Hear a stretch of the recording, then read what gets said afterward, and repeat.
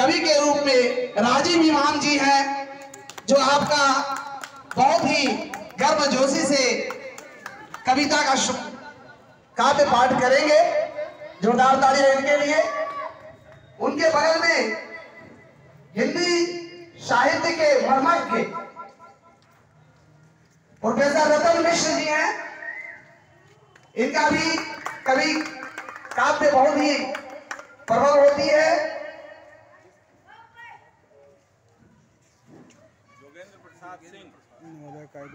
अगले कवि के रूप में हमारे बीच है योगेंद्र प्रसाद सिंह, जोरदार तालियों के साथ इनका भी स्वागत करें।